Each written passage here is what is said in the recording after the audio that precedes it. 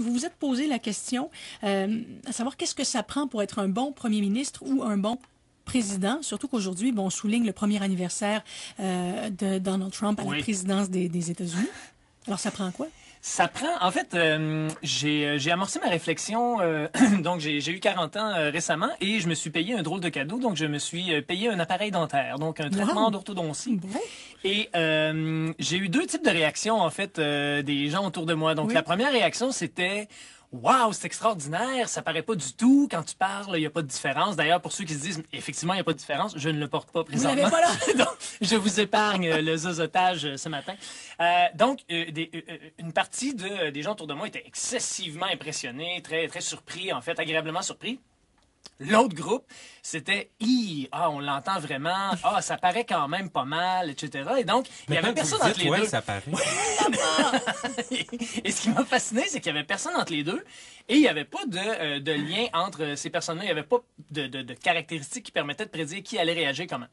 La seule distinction, en fait, c'est que ceux à qui j'avais dit c'est une nouvelle technologie, ça paraît pas du tout, puis ça, ça affecte pas, pas beaucoup le, le- le langage, etc. Eux étaient tous dans le camp Ouh, ça paraît quand même. Et donc, et j'ai commencé à réaliser que euh, des, des lectures que j'avais fait sur notre façon d'évaluer. Donc, c'est quoi une bonne voiture? C'est quoi euh, euh, un bon traitement d'orthodontie ou quelque chose qui, qui est euh, satisfaisant? Ben, c'est un peu comme l'évaluation de c'est quoi un bon président. Donc, en fait, tout dépend de, euh, du comparatif. Tout dépend du comparable et euh, de nos attentes.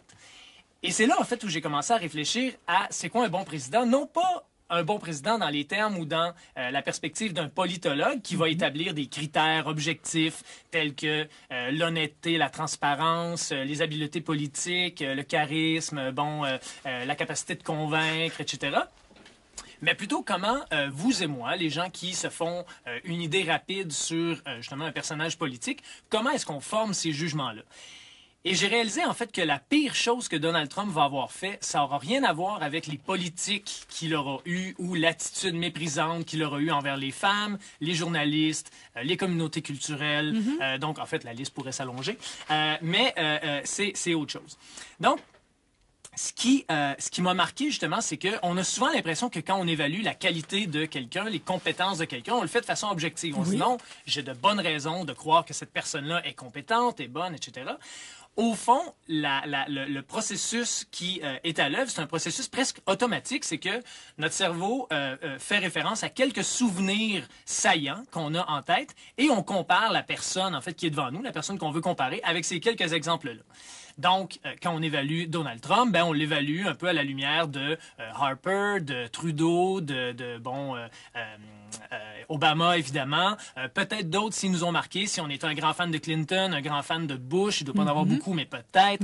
Donc, en fait, on, on va avoir des, des espèces d'évaluations très rapides justement sur quelques points très précis. Donc, Donc, ce par serait exemple, subjectif. c'est très subjectif et c'est euh, c'est aussi très peu euh, substantiel. Donc, on on, fera pas une évaluation sur la politique étrangère, la politique intérieure, sa capacité à convaincre les Américains, sa façon de gérer euh, les conflits, par exemple, justement, avec le- la question des défauts de paiement présentement. Donc, on va, on, va, on va se concentrer sur deux ou trois points. Donc, euh, l'attitude générale qu'il nous avait, euh, qu'il avait eue et l'impression qu'il nous avait laissé, par exemple, dans la gestion de la guerre du Golfe pour euh, le deuxième Bush. Donc, le, le charisme et la façon, en fait, de s'exprimer de Obama et son attitude, disons, positive par rapport aux moins nantis, etc.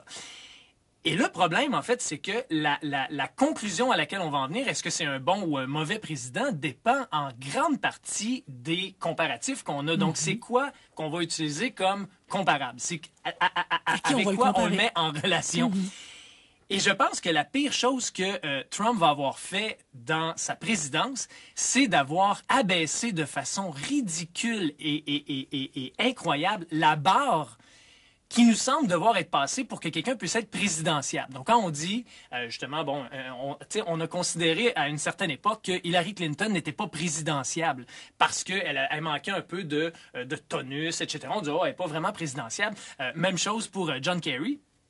Imaginez maintenant qu'est-ce que ça va prendre pour qu'on considère que quelqu'un n'est pas présidentiable après Trump?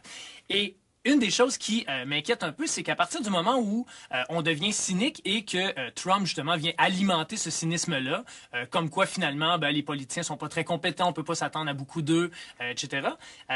pour le futur, ça va être excessivement difficile d'être déçu et d'avoir des, euh, des, des, attentes élevées, d'avoir justement euh, des, des, attentes euh, substantielles par rapport à nos dirigeants.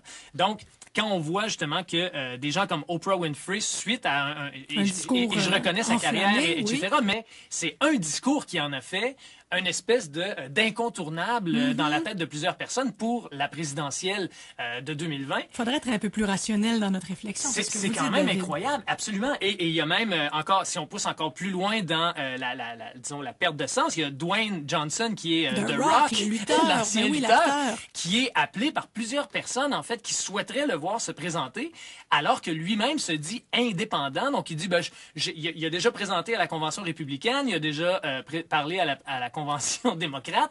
Il se dit lui-même en fait un peu entre les deux incertain de ses allégeances. Et malgré ça, ben, il ouvre la porte en disant oui, oui, non, euh, le- le- ça m'intéresse de me présenter euh, à- éventuellement pour devenir président des États-Unis. Je pense que j'ai ce qu'il faut, etc.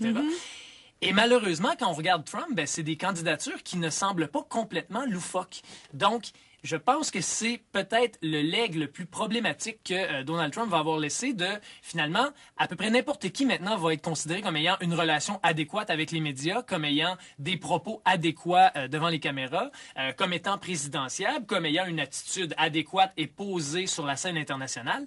Et je ne crois pas que c'est une bonne que c'est une bonne chose.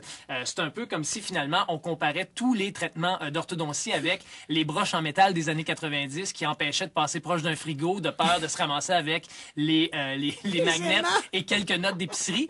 Euh, donc évidemment, si on se contente de n'importe quoi qui est mieux que ça, ben euh, on est voué à avoir très peu de satisfaction. Donc la même chose euh, tient pour nos politiciens à mon sens. Vous avez réussi à faire un lien entre votre appareil orthodontique et la présidence de Trump. Merci. David, vous pouvez retourner mettre le dit appareil.